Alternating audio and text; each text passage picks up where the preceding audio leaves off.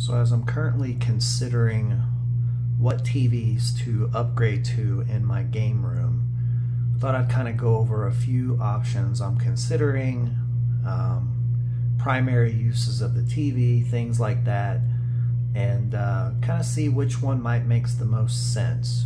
Um, so let, let's start with this one because this would literally be not the direct um, successor to the TV I have, but um, in a way it kind of is. So the TV that I have in the game room now is a 75 inch Sony X950G, uh, 2019 4K LED, uh, Sony's flagship that year for 4K LED. It's been a great TV, uh, but it's just it's it's missing one big feature that uh, yes, I can live without it, but I'm getting to the point where I don't want to. so, um, this is the X95K. Uh, it's not the direct successor, mainly because this is a different TV technology. This is a mini LED, whereas mine is a full array local dim dimming TV.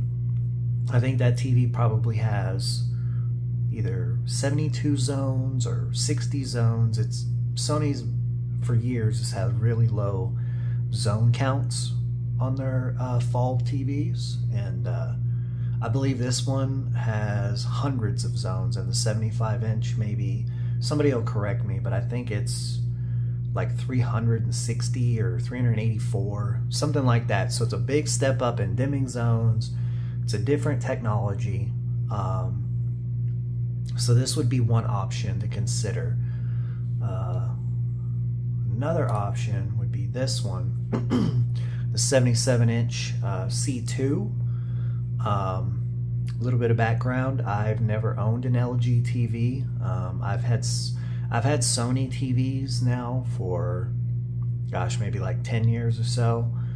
Um, so I, I, don't have a lot of background in uh, knowing much about LG, but when it comes to gaming, this seems to be the TV that most people uh, recommend uh, because it has four HDMI 2.1 ports. Um, while that's not the be all end all for me, uh, I mainly just game on a PS5 and, and very occasionally an Xbox Series X. Uh, so it would be kind of nice to be able to have those two both have HDMI 2.1 capabilities.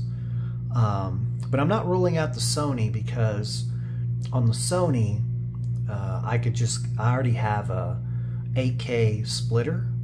So I could just have uh, the one HDMI 4 port that does uh, 2.1 that would be free.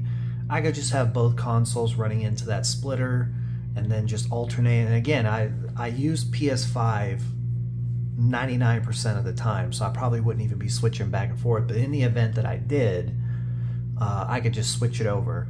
HDMI, I can't use the HDMI 3 port because I'll have the um, the receiver for eARC on that one. So, uh, but this LG, um, it'll bring a couple of things to the table that the Sony's don't. Uh, one being those four HDMI 2.1 ports, so I wouldn't have to use the splitter. Uh, two, it's an OLED. So my concern for years about OLED, and I literally finally decided to give an OLED a shot um, earlier this year. and uh, so now I'm considering OLED for the gaming TV. My one concern there, which is one that probably gets talked about a lot, is the dimming. Um, for example, like if I'm playing Madden and it has that static um, scoreboard logo all the time on there, the Sony OLEDs are notorious for uh, dimming heavily over time. Now, the for me, the annoying part about that is the screen. You know, while it's dimming slowly, you may not notice that. I a lot of times I don't. Where I really notice it is when it like goes to the halftime screen or something like that. And then when it comes back out of halftime or the screen changes, uh, the screen will brighten back up. So you're literally going from like kind of a darkened screen that you know it's like, hey, if the if the TV would just stay uh, slightly dimmed throughout the rest of the gameplay, it's you know I could probably live with that sort of thing. But it's the fact that it'll be dimmed down and then you it'll flip to a different screen, and when you come back to the gameplay, it'll be bright again. So you, you're just seeing it go back and forth as you're playing the game. Um, this LG OLEDs, I know that they have um, different features you can toggle on and off to help with that. Uh, there's also out there that you can um, go into the service menu and uh, you know make make more um, make deeper adjustments to that dimming thing. Not that you know any of us would ever do anything like that, but that is kind of nice to know that it's like okay on the Sony you you have no control over the dimming, whereas on LG you you do have some options to kind of get around that you know at your own risk. Um, I pull this one up because I think today I noticed this one actually has gone on sale, uh, $29.96. So now it and the Sony are identically, you know, pretty much the same price. But the one that really is intriguing to me is this one, the 77 inch G2. Um, over the weekend, I actually stopped in a local Best Buy and was fortunate enough that they actually had um, some of the remotes out where you could just kind of pick it up, play with the settings and stuff.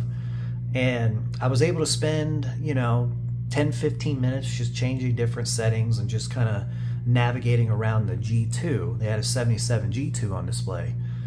And I was really impressed with that. Um, like I mentioned before, I've had Sony's for years. I've gotten used to the, the Sony picture quality and the processing, but the G2 was a beautiful TV. And that's just playing their demo material and, you know, changing settings on that. Obviously, I didn't have a console or anything to hook up. But Really intrigued by this because you're getting a heat seat, heat sink, if I can talk, um, with that, which you would think would help more with image retention. Um, you know, that temporary image retention, which is so bad on the Sony's. Um, so yeah, these are kind of three that I'm considering. I would say if I had to rank them, I would have the G2 one, um, the C2 number two, and the X95K number three. If if I had to say what my ranking is, but um, you know, I'm curious to know what what are your thoughts? Do, does any of you have this TV? Um, and if you do, which one do you have? And talk to me about your experiences with gaming and content watching with yours. Um, tell me about your settings. What what are what are some best setting recommendations, uh, depending on which one? You know, is the G2 worth, look at that. It, I mean, what is that? Like $700, $800? Is the G2 worth $800 more than the C2? I don't know if it is. But again, I don't have a lot of experience with the LG TVs, especially the OLEDs. So drop a comment below. Let me know if you think that uh, the G2 is worth it or the C2 would be the better way to go for bang for buck or just stick with the Sony. It's what you know. You know you're getting a good picture quality. You don't have to worry about dimming. You know, let me know what you think. Drop the comment below if you like the video. Uh, consider giving it a like. Consider subscribing, turning on the bell notification as I'm going to have more uploads here in the future. Talk to you later.